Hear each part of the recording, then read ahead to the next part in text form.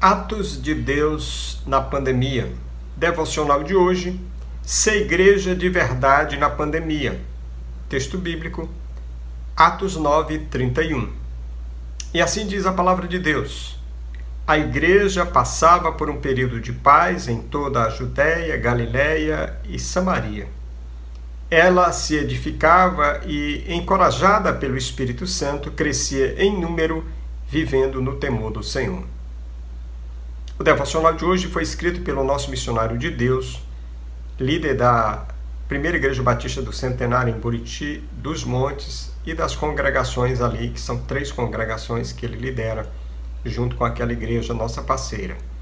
Ele diz assim: A Primeira Igreja Batista do Centenário em Buriti dos Montes é filha da PIB em Teresina. Tem três congregações em povoados da cidade: Jesus Transforma, Angelim e Jatobá Medonho todas lideradas por obreiros, filhos da PIB do Centenário. Temos procurado ensinar a igreja e suas congregações a serem igreja de verdade, sem se importar com o tempo ou as circunstâncias. Olhando o texto desta devocional e pensando em uma igreja de verdade, podemos chegar a algumas conclusões. Primeira, uma igreja de verdade sofrerá perseguições, Jesus mesmo disse: Bem-aventurados sois vós quando vos injuriarem perseguirem e mentindo disserem todo o mal contra vós por minha causa. Alegrai-vos, exultai, porque é grande o vosso galardão nos céus, porque assim perseguiram os profetas que foram antes de vós. Mateus 5, 11 e 12. Segundo, uma igreja de verdade tem como foco principal a pregação do Evangelho de Cristo. Paulo escreveu à igreja em Roma: Eu sou devedor tanto a grego, gregos como a bárbaros, tanto a sábios como a ignorantes, de modo que quanto está em mim, estou pronto para anunciar o evangelho também a vós que estáis em Roma, porque não me envergonho do evangelho, pois é o poder de Deus para a salvação de todo aquele que crê, primeiro do judeu e também do grego. Romanos 1, de 14 a 16. Terceiro, uma igreja de verdade tem intimidade pessoal com Deus. Isto é muito importante para a vida da igreja. Muitos querem ter comunhão com Deus em um culto, em pequenos grupos, mas não desenvolvem intimidade pessoal com o Senhor. Não tiram tempo para meditar na palavra, para louvar, para orar ao Senhor. Jesus nos ensinou, mas tu, quando orares, entra no teu quarto e fechando a porta, ora a teu pai que está em secreto, e teu pai que está em secreto te recompensará. Quarto, uma igreja de verdade leva seus membros a assumirem responsabilidades no reino de Deus.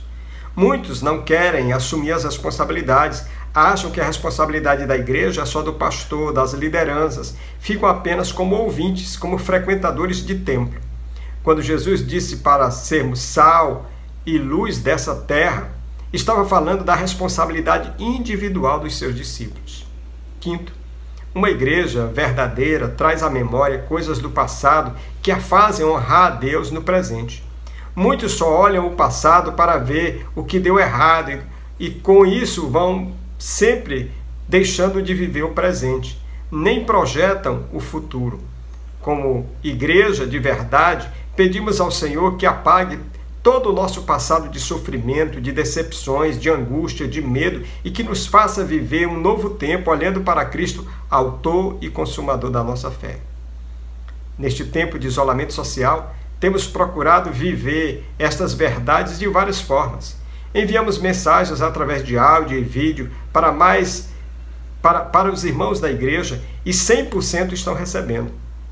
Como mudamos de residência para um bairro, um bairro da, perto da, da igreja e é uma casa que tem um piso superior, colocamos uma caixa de som na janela, no primeiro andar da casa, e através desse aparelho nós temos alcançado muitas pessoas aqui no bairro com os devocionais que a primeira igreja nos manda e também com os cultos que a primeira igreja realiza online.